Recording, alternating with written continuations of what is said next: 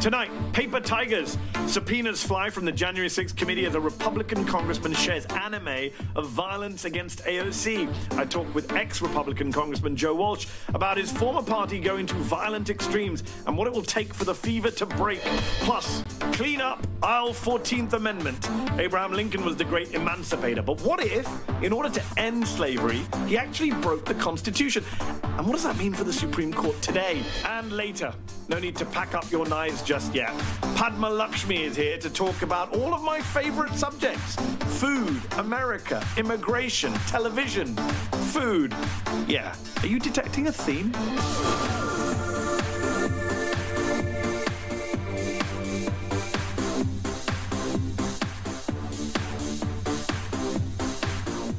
Good evening, I'm Mehdi Hasan. If you're a regular viewer of this show, you'll be familiar with Arizona Republican Congressman Paul Gosar. He's one of Donald Trump's most ardent supporters and among the more controversial members of Congress. Earlier this year, he spoke at a conference organized by white nationalist Nick Fuentes. He suggested without evidence that the Unite the Right white nationalist rally in Charlottesville in 2017 may have been funded by billionaire Democratic donor George Soros. He made the anti Semitic claim that Soros handed Jewish people over to the Nazis. He's tweeted out memes with white supremacist mottos. Even his own siblings have called for his removal from office over his extremist views. But now, Gosar has stooped to a brand new low, tweeting a video that depicts violence against elected Democrats. We won't show it to you, but the altered video from a post apocalyptic anime series shows Gosar killing Democratic Congresswoman Alexandria Ocasio Cortez and later attacking President Joe Biden with swords. Twitter added a warning label to the video saying it violated hateful conduct rules, but the platform did not take the video down, saying it may be in the public's interest for the tweet to remain accessible. Sure, Twitter, if you say so. Gosar even retweeted the video on his personal account, adding, The creativity of his team is off the hook. Not sure. Creative is the word I'd use to describe the animated death of colleagues at your own hands, but tomato, tomato. Democratic Congressman Ted Lieu called the tweet sick behavior. And just about an hour ago, Gosar issued a statement about what he called the gross mischaracterization of the video, saying, I do not espouse violence or harm towards any member of Congress or Mr. Biden. The cartoon depicts the symbolic nature of a battle between lawful and unlawful policies and in no way intended to be a targeted attack against Representative Cortez or Mr. Biden. It is a symbolic cartoon. It is not real life. Notably, no apology in that. Before that statement, AOC herself fired back, calling Gosar a creepy member, but noted he'll face no consequences because GOP leader Kevin McCarthy cheers him on with excuses. Unfortunately, she does appear to be right.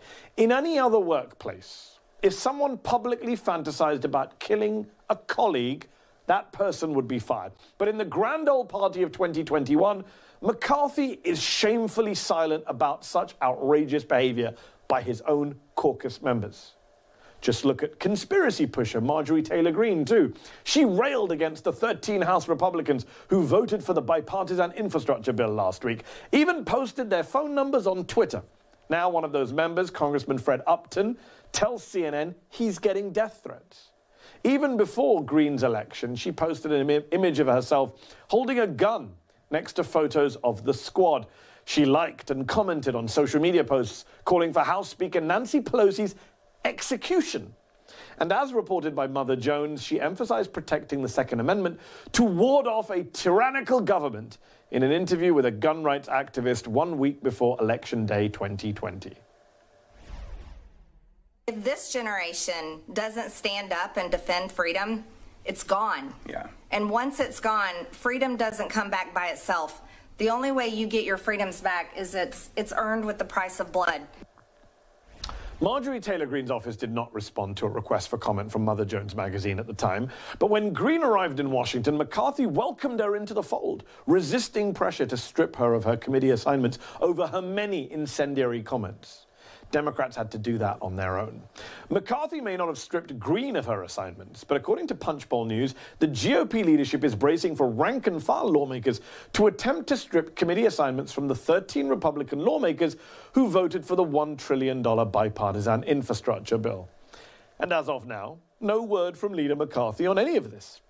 When it comes to today's GOP, it seems defecting from the party line on a policy issue is a mortal sin, while pushing conspiracies and endorsing violence against other lawmakers is A OK. It's almost no wonder that January the 6th happened. Let's not forget, Congressman Gosar has been accused by Stop the Steal organizer Ali Alexander of helping to plan the rally that preceded the Capitol riot in Washington, D.C. that day. Not that his office has ever given us a comment on that on the multiple occasions on which we've asked. Alexander is one of the people under subpoena by the House's January 6 subcommittee, and today they issued new subpoenas for 10 former Trump aides. They include senior advisor Stephen Miller, former Press Secretary Kayleigh McEnany, Deputy Chief of Staff Chris Liddell, and White House Personnel Director John McEntee. That follows the six subpoenas for Trump campaign officials and advisors that we told you about on this show yesterday. Former President Trump himself has not been subpoenaed, but he is fighting the release of records requested by the committee. It's not going so well for him at the moment. Late last night, he filed an emergency motion to temporarily shield those records on the basis of executive privilege. Late, late last night. And yet, just two hours later, after midnight, a federal judge swiftly denied it. The judge called the motion, Trump's second, premature and said she wouldn't entertain it until she ruled on the first motion. I know, I know. Court cases, subpoenas, committee hearings, executive privilege. It can be easy to be overwhelmed by all this legal stuff. But don't be. And don't let your eyes glaze over these ongoing political and legal developments in relation to the events of January the 6th. Because at the heart of all of this is the rise of political violence and domestic terror in this country. Violence that reached the halls of Congress this year. Violence that one party is not just ignoring, but dangerously, shamelessly normalizing. Joining me now is former Congressman and former Republican Joe Walsh, who now hosts the podcast White Flag with Joe Walsh. Uh, Joe, welcome back to the show. In March, when I spoke to you, you made an interesting prediction about Paul Gosar. Have a listen. You want to know where today's Republican Party, Mehdi, is? You nailed it. Paul Gosar, a guy I got elected with. He blew off, Friday night, he blows off a COVID relief bill to fire up a bunch of white supremacists. And Mehdi, I guarantee you, the Republican Party will not do a damn thing to him. That's where your party is today. That's yeah. where this party is. Sadly, Joe, you were absolutely right. And since then, they've acted to not only look the other way for behavior like that, but they're even thinking about punishing members of Congress who voted for an infrastructure bill, who put country over party, while they allow Gosar to tweet out basically violent threats against other members of Congress.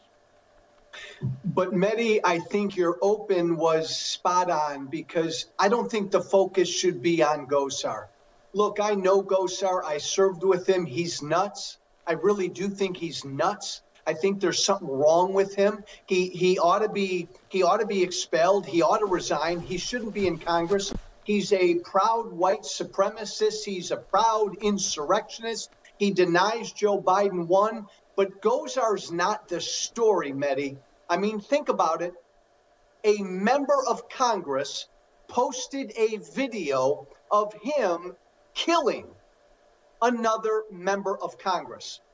And it's not just Kevin McCarthy, it's damn near that entire Republican Party hasn't said squat. It's on them, Mehdi, and you're right to focus on the Republican Party. So, they haven't said anything, so and I guess, right, the, your question, the million dollar question is, why not? And I guess, Mehdi, I'd answer it like this it's Trump's party. There's no difference between Donald Trump and Paul Gosar. There's no difference between Donald Trump and Marjorie Taylor Greene. This is the party now. And I'll tell you, Mehdi, you and I have talked about this before. Marjorie Taylor Greene and Paul Gosar are exactly where the average Republican voter is. Unfortunately, that does seem to increasingly be the case when you look at some of the polling on January the 6th and Republicans' views towards political violence. Uh, I should add, Paul Gosar, of course, would deny that he's an insurrectionist, would deny some of the claims he made against him. Uh, we have tried to explore on this show his ties to Ali Alexander, Stop the Steal. He doesn't give us any comments. He doesn't come on the show. But let me just focus on this AOC issue in this anime video.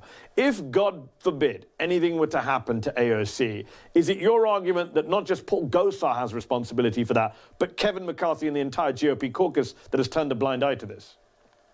I think the entire party is culpable, Mehdi. And look, I, I, I hear from hundreds of Republican based voters every day. I heard from a bunch of them today, Mehdi. They have absolutely no problem with what Paul Gosar did. Okay, Kevin McCarthy knows that. Republican Party leadership knows that. And that's why they won't say anything. I guarantee you there will be more violence. Uh, Gosar is inciting violence. But again, Mehdi, what the hell did Donald Trump do for four years? Uh, Gosar's yeah. done nothing that Donald Trump wouldn't do. Yes, that's a very good point. And in fact, I mean, I'm old enough to remember when Donald Trump, it's just hitting me now, actually, having spent the entire day thinking about this show and thinking about Paul Gosar. I'm just reminded on air with you, you just triggered it. Donald Trump at Mar-a-Lago, they played a video once of, of Trump fans. It wasn't Trump himself, but Trump fans who made a video of him doctored at the Kingsman video, the film I think it was, where he's slashing and killing loads of people. Again, it was a mock video, it was a fake video, it was a, a, a, a you know, but just that this idea of laughing about violence, of joking about attacking your enemies. I mean, we've gone way beyond just owning the libs here. We're talking about, no, you know, uh, we're talking about a woman, AOC, who gets a lot of death threats already. We're talking about Fred Upton, a Republican member of Congress, who is, says he, today he's getting death threats because Marjorie Taylor Greene called him a traitor and put his phone number, his office number, on Twitter. Mehdi, we're talking about state elections officials all over the country who yes. have been getting death threats for the past almost year because they certified an American election. Remember how outraged we were a few years ago when Trump sent out that one video meme of, of somebody bashing in CNN's head? And then what yes. happened a year later? Somebody tried to, what, set bombs off uh, in the in the the Turner headquarters or the CNN office. Look, this is inciting violence. This is what this party is, and I guess, Mehdi, it's it's it's not a surprise. The party is a cult. The cult leader incites violence. The cult leader has lieutenants like Gosar and Marjorie Taylor Greene, and a bunch more who do the same thing. Um, there will be more violence. This is a scary so, time. So let me ask you this: Joe, let me ask you this. You said it. Why now? It's Trump's party. The Republican Party used to be at least a little bit more willing to deal with very problematic members. They eventually, belatedly, stripped Steve King of Iowa of his committee assignments when he was making comments about white civilization and white supremacy and he was powerless. He was primaried. He was run out of Congress. Uh, but now you have not just Gosar, not just Marjorie Taylor Greene. You have Mo Brooks, who put out a borderline sympathetic statement uh, to the guy who held police at bay in a truck outside the Library of Congress a few weeks ago. And yet, nothing. Kevin McCarthy doesn't do anything. Is it because he's afraid of them? He's afraid of Donald Trump? Or, the worst scenario of all, he's fine with it all? I think he, I think it's more fair. Mehdi Gosar and I got elected 10 years ago. I guarantee you, if Paul Gosar pulled this 10 years ago, John Boehner yes. would have grabbed him by the back of the neck. He would have been stripped of his committee assignments. There would have been a price to pay. What happened in the last 10 years? Trump came along, and you and I have talked about this. He radicalized the base. So now the yes. base is fully on board. They're fully radicalized. Most of them support uh, the dangerous crap that Gosar does. Kevin McCarthy knows that.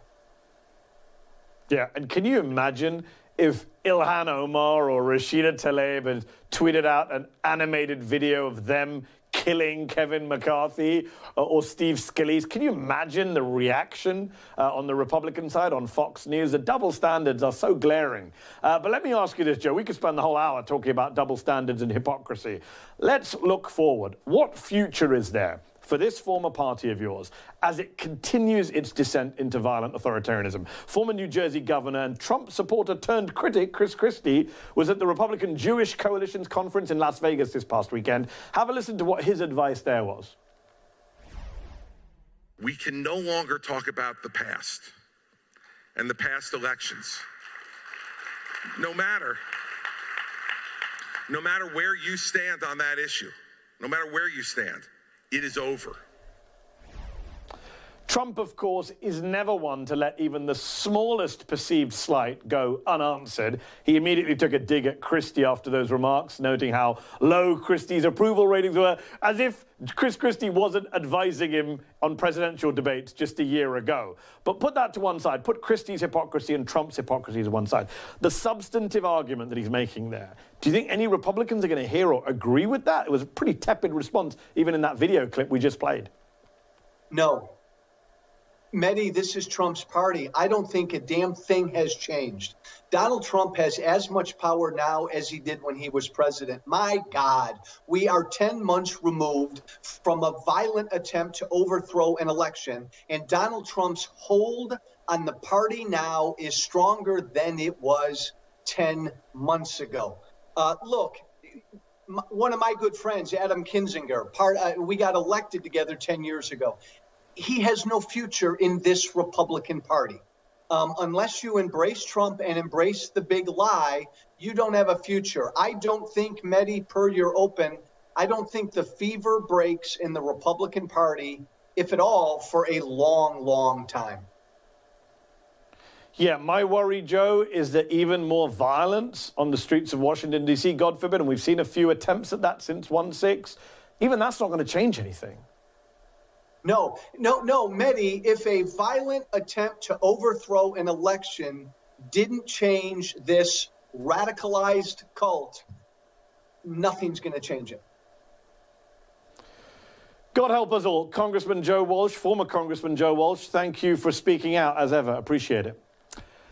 Still ahead, the party of family values has a doozy on its hand in the Pennsylvania Republican Senate primary and the Missouri one and the Georgia one. We'll bring you up to speed in just 60 seconds. It's pretty shocking. Stay with us.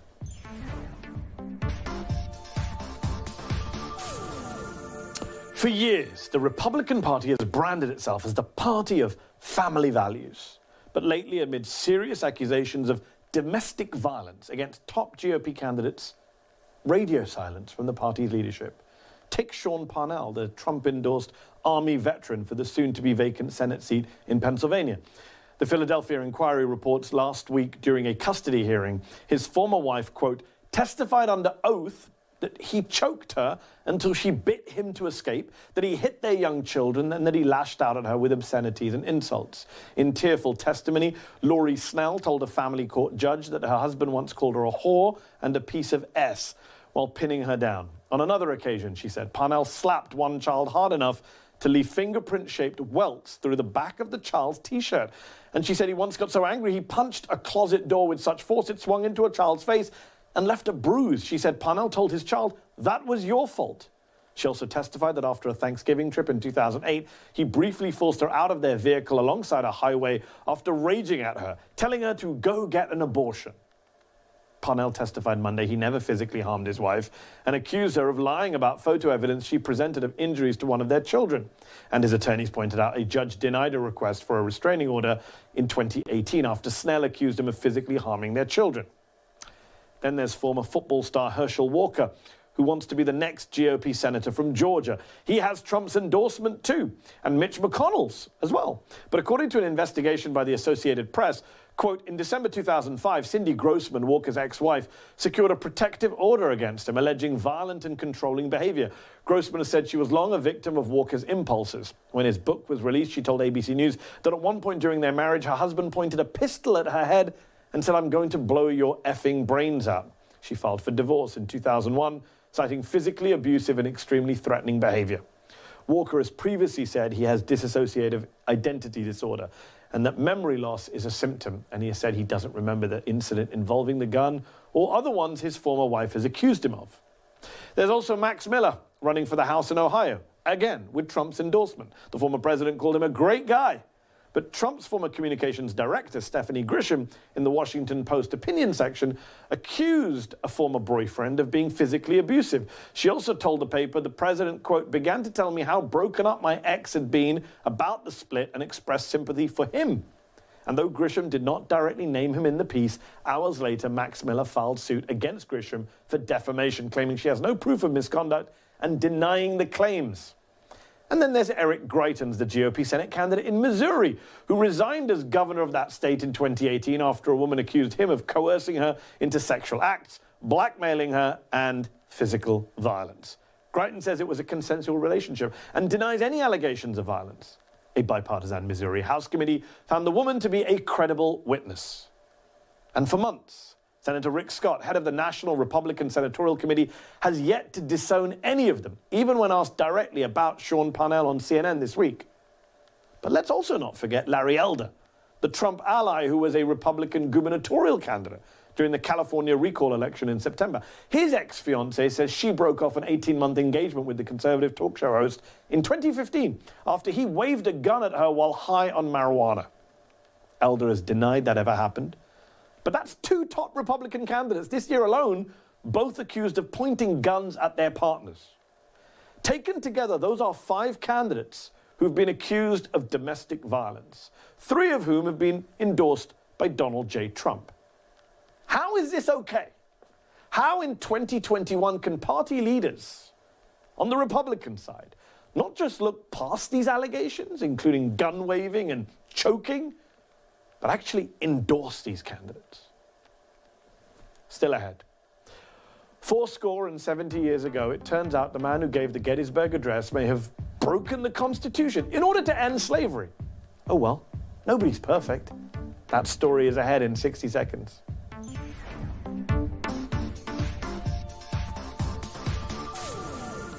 In the news business, we cover politics and immigration on an almost daily basis. But Padma Lakshmi is looking at these issues through a new and very different lens. The second season of her show, Taste the Nation, is now available on Hulu. It's a fascinating show in which she explores the cuisines that are now as American as apple pie and the people behind them who aren't always welcomed in America. The violence of the drug cartels in recent years has made El Paso residents afraid to go to Juarez. On top of that, Central Americans and Mexicans are being increasingly vilified in the U.S.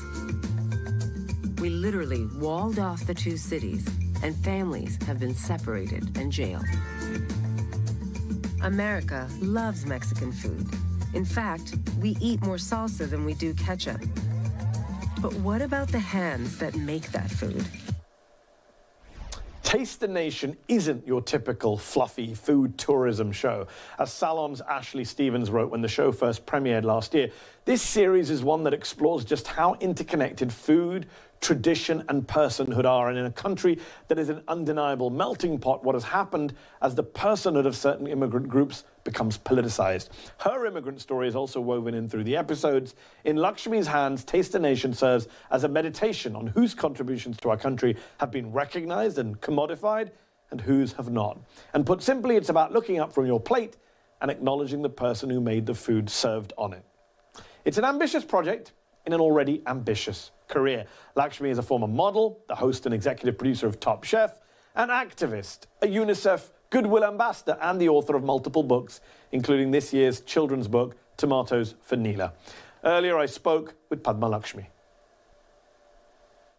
Padma, thanks so much for joining me on the show tonight. Congratulations on the new book and the new season of Taste the Nation. Um, when that first season of that show on Hulu came out last year, you said Taste the Nation is a political show just under the guise of food porn. Uh, it's a great line, but unpack it for our viewers. What exactly did you mean by that? How is it a political show? Um, well, you know, we look at the issue of immigration through the communities that we visit um, some who have been here for a really long time, some who have been here more recently. And I think food is very political. You can look at so many issues that affect our lives and our culture from agriculture to commerce to health and safety to, of course, the environment. And you can tell a lot about a person and a culture by how they eat. And so I'm interested in those stories. For so long, I saw, you know, for several years, I saw immigrants being vilified uh, in the media and in Washington with the prior administration. And as an immigrant and as someone who's grown up in immigrant communities, that just wasn't my experience. And I was tired of other people speaking for immigrant about immigrant life or about yes. who we were or who we weren't. And so um, I began to work on immigration issues with uh, the ACLU, and out of that um, advocacy work, I really uh, came away with the feeling that, you know, we don't know our fellow Americans. And so Taste the Nation isn't really designed for people who think like me. It's really designed for people who vote red or are in red states and maybe intimidated. I don't want to call it xenophobia in all cases, but maybe just are afraid of the other. And I thought that you know, getting to know these immigrant communities and letting them tell their own story would be really yes. refreshing and hopefully open up a dialogue. It's designed for people who don't think like me. You go to some fascinating places on the show. I want to play a little clip from your second season of Taste the Nation. Let's have a listen. Forget that the immigrant story is constantly replaying itself. I feel like they're just good ghosts here. The Jewish woman might bring her Irish neighbor latkes, and the Irish woman might bring clam chowder We didn't just blissfully go down and greet the pilgrims and go, oh, welcome, we have turkey, you know. Want an apple pie? Yeah.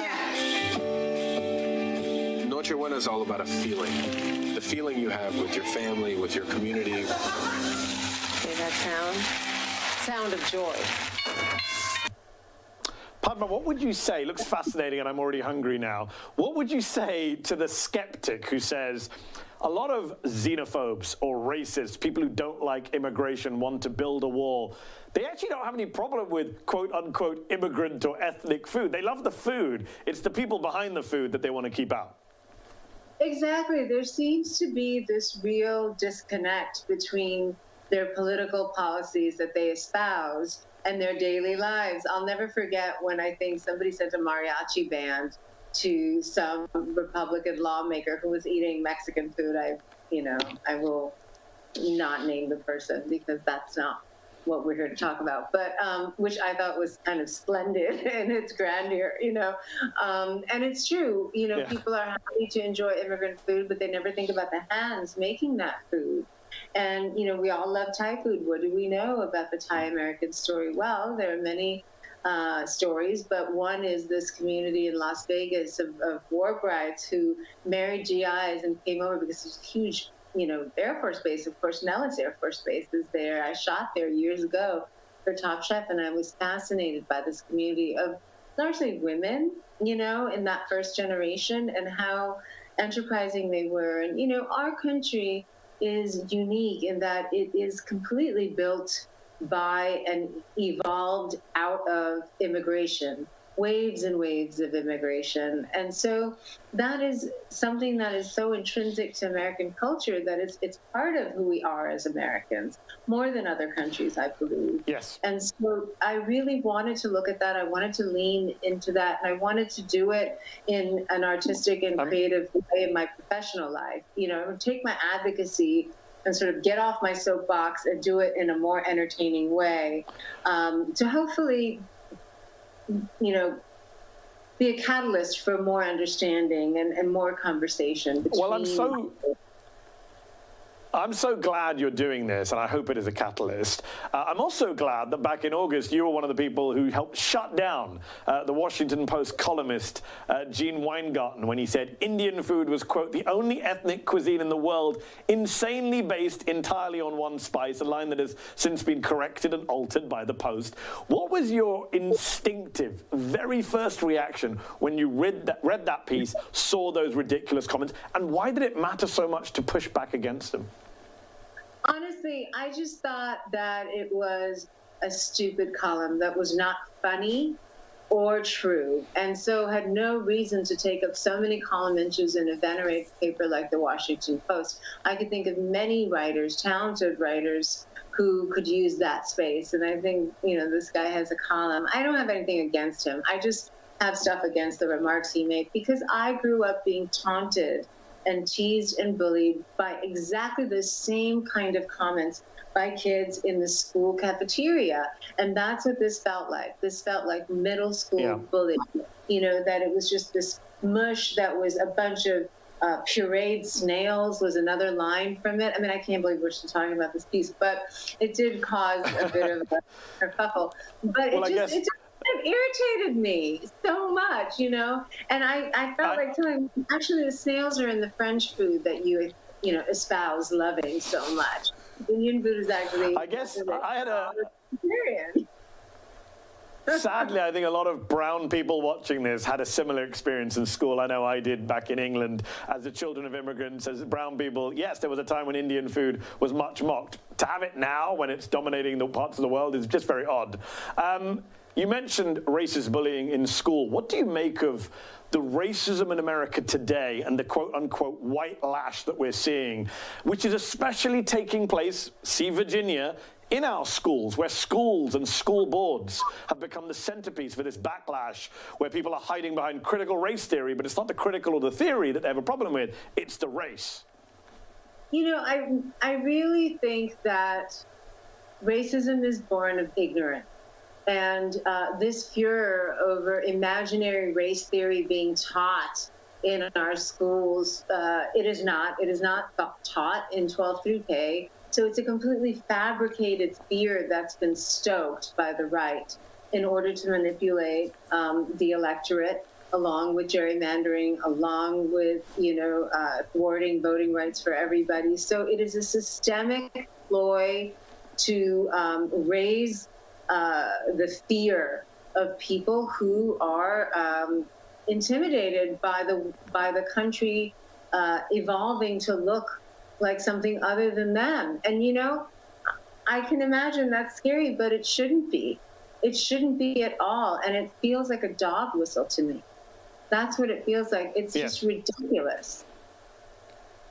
One of the other areas you've been outspoken on uh, is women's rights, uh, abortion rights. Um, in Texas recently, we have this law that was passed, one of the strictest anti abortion laws in the country. Supreme Court uh, now hearing that case. Supreme Court about to hear a case uh, out of Mississippi, which could lead to the end uh, of Roe v. Wade. How worried are you about the direction of the U.S. when it comes to women's rights, abortion rights? You have a young daughter, I believe. Are these subjects you talk to her about? I mean, Krishna, my daughter is 11, so she's aware because she always hears me on the phone, or you know, she knows about this issue because obviously we've been, you know, I've been pretty vocal about it. Um, and reproductive health care is something I've been concerned with, also with the Endometriosis Foundation of America, which we started and, and founded over a decade ago. But I, you know, I can't believe we're still having this conversation. If um, if more men, you know, if they're not trans, I mean, you know what I'm saying. Like, if men could get pregnant very easily, we wouldn't be having this discussion. Um, I really, I really believe that in this day and age, to tell a woman that she has to do something and she doesn't have dominion over her body is apocryphal. Under any circumstances, it should. You know, we shouldn't even talk about the exceptions for rape or incest. It just should not be a question. My body is my business and your body and what you do or don't do with it, it should be your business. End of story. You know, it's just that simple. And I think, again, it is really the religious right that is taking over the legislature in all these states, and of course, also the Supreme Court. Interestingly, Republicans over the last year and a half of the pandemic seem to have agreed with you. They say my body, my choice when it comes to masks. So maybe they're Yes, halfway there. exactly. Uh, one last, one last quick question. We're out of time, but I got to ask. Speaking, you mentioned your daughter. Speaking of kids, tell us about your new book. Tomatoes for Neela. My kids happen to be obsessed with both cooking and storytelling. So I'm wondering, how did you end up doing a children's book like this? And why tomatoes? Oh, thank you for mentioning the tomatoes for Neela. Um, you know, it's been a lifelong dream of mine to write a children's book. I love children's literature, and I thoroughly savored and enjoyed reading to my daughter Krishna at every stage. And we used to, and still do, always cook together.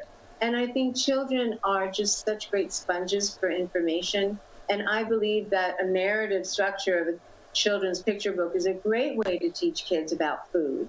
And so, if you give a child an appreciation and love of food and cooking at a young age, you give them the gift of good eating for long after you're gone, and that will benefit them. And so, I just taught Krishna how to cook in little age appropriate ways at different stages of her development. And so, Tomatoes for Neela is, um, and hopefully, an entertaining guide for to help parents do that.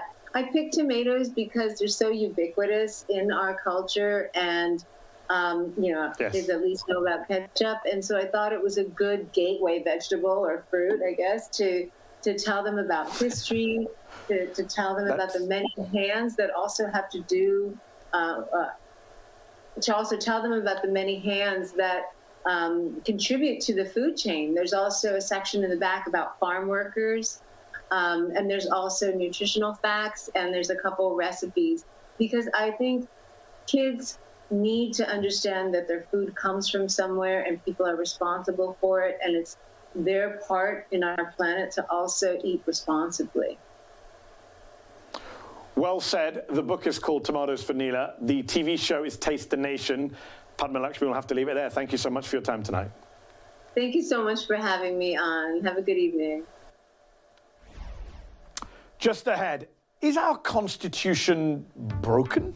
That's what one Harvard lawyer who testified at the first impeachment of Donald Trump argues in his new book. I'll speak to Professor Noah Feldman in 90 seconds about lots of important things. Don't go away.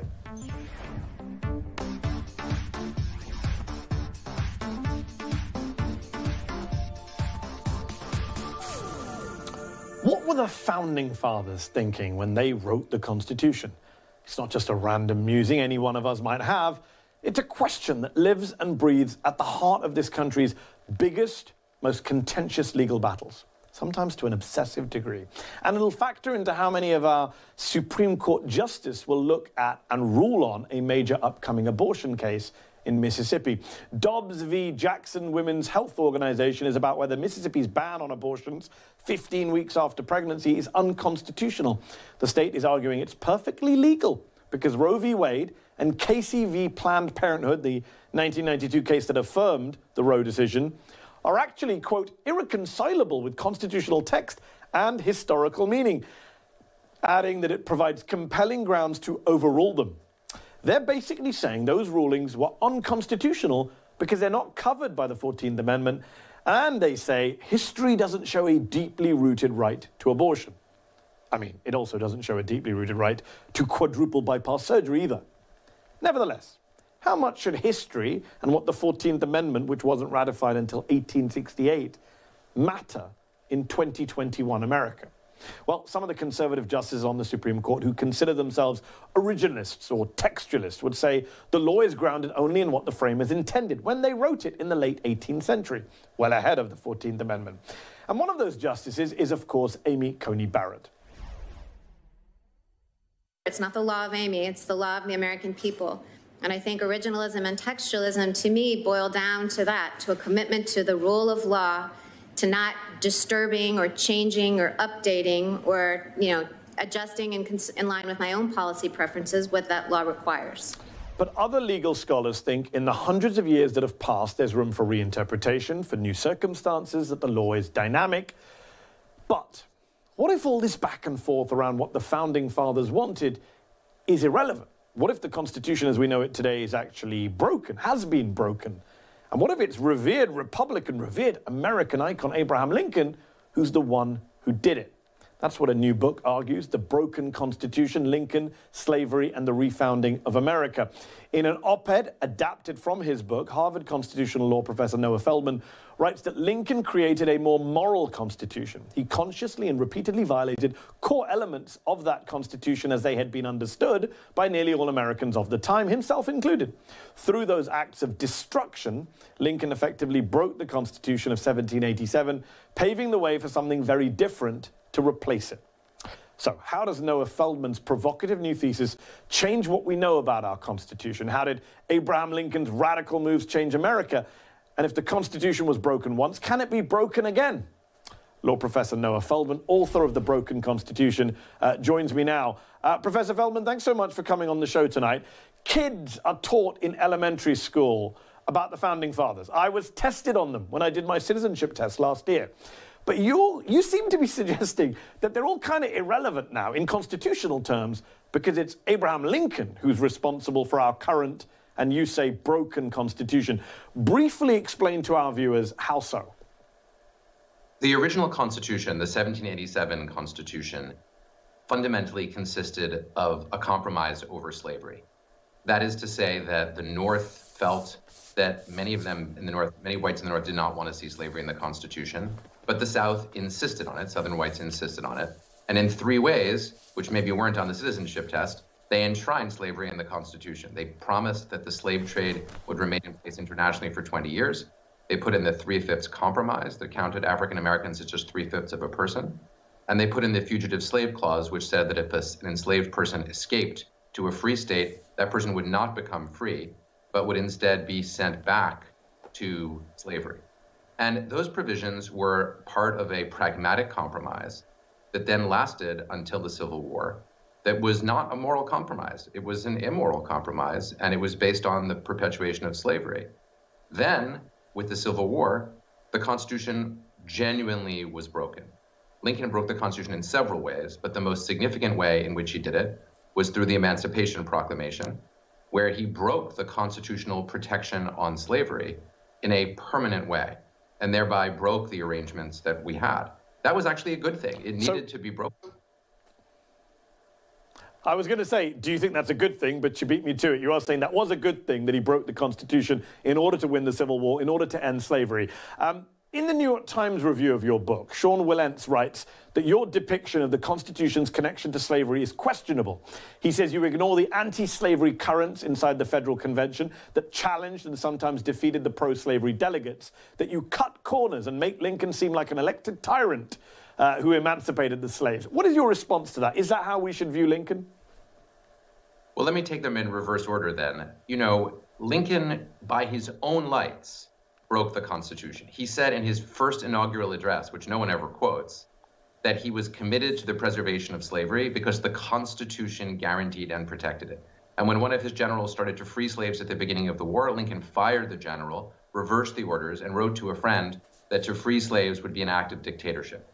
So Lincoln, by his own words, reached the opposite conclusion a little more than a year later when he signed the Emancipation Proclamation. As for what happened in the 1787 convention, I think Professor Wilentz is just overstating the case drastically. I mean, I wrote a book about the founding fathers, as did uh, Wilentz, although we have very different conclusions. And the fact that some founding fathers were uncomfortable with slavery is irrelevant to the fact that the Constitution they produced enshrined slavery was understood by the vast majority of Americans, including the Supreme Court, as doing so, and continued to do so right up until the Civil War. And even a person like Abraham Lincoln, who didn't care for slavery, began the war believing that slavery was a mandatory part of the so, Constitution. So, Professor Feldman, we're only a couple of minutes into the interview, and we're already talking about what did they think, what was going on, what was said. And I just think to myself, it's not like other countries don't have a codified legal document, a constitution. Most Western democratic countries do. But I find that only in America do people fetishize the Constitution and the people who wrote it as some kind of almost infallible beings, guides, prophets, even. And for me, to be honest, whether it was a group of white men in the 1780s or a single white man in the 1860s, it's now 2021. Why should a modern, democratic, multiracial America still be beholden to those guys' views of the law, of politics, of the Constitution? Shouldn't we be freeing ourselves from this obsession with their views, their words, their intentions in 2021? The way we Americans often find ourselves arguing about what's right is by arguing about whether it's in the Constitution. And on some level, that's kind of silly because what really matters is what's right, not what's, what's written in the Constitution. But, and this is, I think, really important and significant, we still remain committed to the idea of interpreting the Constitution to make it the best Constitution that it can be. Now, I'm not an originalist. I think originalism is a mistaken approach because I think that anytime you interpret the Constitution, even if you claim to be an originalist, you're bringing your own beliefs and values to it. And we do better when we're honest about the fact that we're bringing our beliefs and values to it. So, in that sense, I don't think we should be bound by the dead hand of the past. But, and this is a big but, we still divide we still create our national identity around what we think we're collectively committed to as values. And that means that if we're worried that our Constitution has racism baked into it from the beginning, we're going to do a worse job of evolving our Constitution to be better and more equal. We'll do a better job if instead of starting with the slaveholders in 1787, we start with the self liberation of enslaved people during the Civil War and with Abraham Lincoln's promise that slavery would not be returned to the Constitution, and with our constitutional amendments, the 13th, 14th, and 15th, that say that all humans are equal. That's where we need to start that story because it's a story about how we get along, and that we do need. So let's not just talk about dead hands. Let's talk about the Constitution today and the Supreme Court today. Uh, your liberal endorsement of Amy Coney Barrett's nomination last year was cited by everyone from Donald Trump to Matt Gaetz, which I'm sure you loved. They loved your op ed for Bloomberg, in which you said Amy Coney Barrett deserves to be on the Supreme Court. I disagree with Trump's judicial nominee on almost everything, but I still think she's brilliant. You also called her lovely, kind, and thoughtful, which she may very well be. But it's kind of irrelevant, is it not, to the people on the receiving end of her decisions, whether it's women workers, minorities, etc. And I wonder, Professor Feldman, I wonder what you think about this idea that a lot of Americans who say they hate the establishment, they hate the swamp, they look at stuff like this and they say, everyone's just friends with each other. It's not about ideology. It's not about politics. You endorsed her despite everything. So I wish you'd shown the clip where on national television I said that Donald Trump should be impeached and removed from the presidency, which was long before he put Amy Coney Barrett on the Supreme Court. I said that under oath. I believed it. I believe it still. Uh, Donald Trump twice committed crimes and misdemeanors that deserved impeachment. However, the Senate did not remove him. He was elected yeah. president of the United States the first time, and he is entitled to nominate somebody, and the Senate is entitled to vote on that person. When I wrote that uh, op ed, it was absolutely clear that Justice Barrett would be confirmed, as indeed she was. What I was speaking in was a, an idiom that we used to believe in in this country, where we could say, as it says right in that clip, that you can disagree with something with someone about almost everything, still believe that the person is acting in good conscience, and not treat that person as your absolute enemy, but as a person with whom you have disagreement. And I would add one more thing. Many people said if she goes on the Supreme Court, she's going to hand the presidency to Donald Trump, even if he loses the election. When I wrote that, it was very important to me to emphasize that I did not believe she would do that and to send her the message that we are a system where we believe in the rule of law, as you had a clip of her saying, and that meant she should not hand over the election to Donald Trump, as indeed she did not do. And so I think that's really important. Indeed. We used to have a system where we remembered that sometimes we're going to lose and not get the people we want through. And when that happens, we need to remind those people to be committed to those things that we hold in common we can't win them all. You know, elections have consequences. I'm devastated yeah. by the thought the court might overturn Roe v. Wade. I don't want that to happen. And there was literally nothing that could be done about that by throwing pointless insults at Justice Barrett. So a couple of things. I'm not suggesting you should throw pointless insults, nor were we suggesting you're a Trump supporter. I did say in the intro, uh, as I introduced you, that you did speak in his first impeachment trial. My point about Coney Barrett, and there's two arguments here that you seem to have raised, one of which is about elections and consequences, which I totally agree with you, although the critics would say that's more to do with should she have been confirmed so close to an election after millions of Americans had voted? What about McConnell's hypocrisy? Let's put that to one side, a discussion for another day. I just want to engage with you on, on her rulings and your point about the Supreme Court, because it's fascinating. I agree with you. She didn't hand the election to Donald Trump, although that's a low bar. You know, the Supreme Court didn't overturn democracy. I don't think they deserve a pat on the back for not doing that. But I just wonder, in hindsight, given she did vote with the majority on Brnovich, the voting rights, the big voting rights case this year, she has voted against labor rights, she has voted against uh, the rights of juvenile offenders. She's even signed on to that, you know, the Texas SB 8 decision, which is obviously now in the full court, but back in September stopped women in Texas overnight from getting abortions. I just wonder, in hindsight, do you regret anything you wrote or said at the time about Coney Barrett? Those are all wrong decisions, in my view, wrongly interpreting our statutes and our Constitution. None of them surprises me. And they don't change what I said, which is that I disagree with her. I'm likely to continue to disagree with her very strongly, but she is a first class lawyer, a deeply thoughtful and conscientious person, and is capable of being a good Supreme Court justice by the lights of sincerity, conscientiousness, and effort. I think she will not be a great Supreme Court justice if she decides cases wrong, and I think those cases are wrongly decided. But it was never my point to say that I agreed with her. And as I say, we used to live in a political system where it was possible to say about somebody, I disagree with you profoundly, and I still respect you. And I think it's very sad that we're in a world where people think that saying that is somehow either an act of betrayal or an act of bravery. I don't know which was worse when people told me that I somehow had betrayed my constitutional values because I said that someone was smart whom I disagree with, or whether people, when people on the other side said I, I was so brave. You know, that's I, I ridiculous too. It's neither brave nor I completely understand. brave nor preposterous. I completely understand the argument you're making, and there's a lot of value in it. I guess the critics would say it's more about the fact that it's, it's irrelevant whether she's smart or nice. It only matters what her decisions are because that's what impacts real people. Right, but we're running saying. out of time, and I do want to ask wrong. about. That's wrong. Okay. I mean, it's a mistake to think that it's irrelevant what someone's motivations are because if they have bad motives, then they will do things like overturn. Well, we don't know what her motives are. Neither of us know what her motives are. I mean, you know her, but you know her. I don't know her, but we don't really know her motives. But let's just move on. We're running out of time. I do want to get into a bigger issue about the court. You've written recently about what happens if Roe v. Wade is overturned by this court, and you've warned conservative justices. Court packing, expanding the court by the Democrats will be coming much sooner if they do that. I happen to be someone who supports expanding the court regardless of what happens on Roe. I think it's the right thing to do. I think Democrats have every right to do it. Why am I wrong? Well, as a constitutional matter, whoever controls Congress and the presidency could always expand the court. So when you Yeah. say that, Mehdi, you're not just saying that the Democrats can do it, you're saying the Republicans can do it if they are in control of the government, as they have been in the recent past and could very well be in 2024. So take a deep breath before embracing an expansion of the court that could happen uh, from the other side.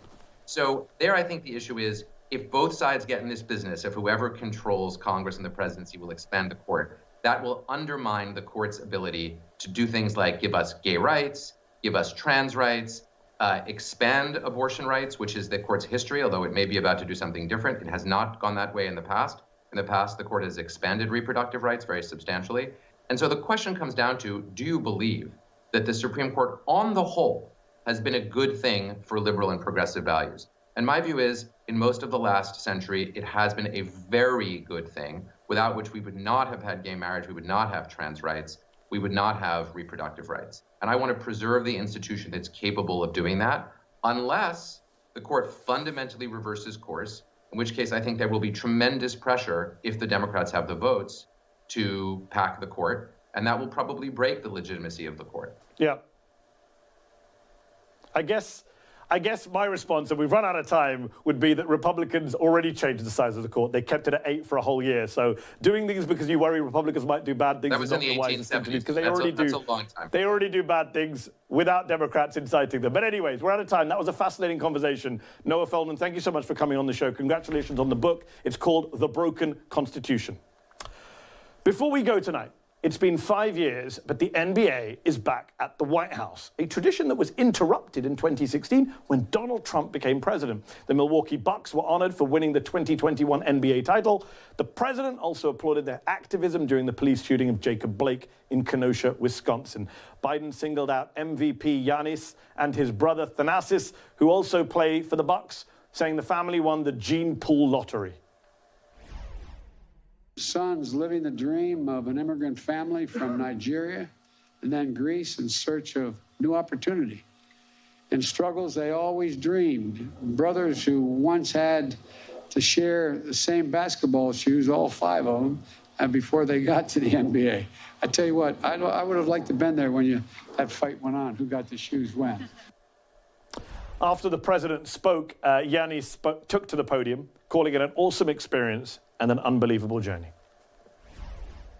It's an unbelievable opportunity to be able to be in the White House, uh, meeting uh, the President of the United States. I could not be um, as honored and happy that uh, something like this, I've, I've accomplished something like this in my life. For everybody out there, uh, this is a great example that, you know, with hard work, uh, with sacrifices, if you dedicate yourself and waking up every single day and try to um, get better in anything you do, in anything you love, and believing in your dreams, you can accomplish great things in life. Inspiring words from an inspiring person. And thank God, athletes, role models like him feel able to go back to the White House now. That does it for me tonight. Make sure to join us on Instagram, Twitter, TikTok, and Facebook. And I'll see you back here tomorrow night at 7 p.m. right here on The Choice from MSNBC. One of my guests will be Huma Abedin. You won't want to miss that conversation tomorrow night. But for now, from me, good night. Hi, I'm Mehdi Hasan. Thanks for checking out our channel on YouTube. You can see more of The Mehdi Hasan Show by clicking on any of the videos on this screen and make sure you subscribe below to stay up to date on the day's biggest stories. Thank you for watching.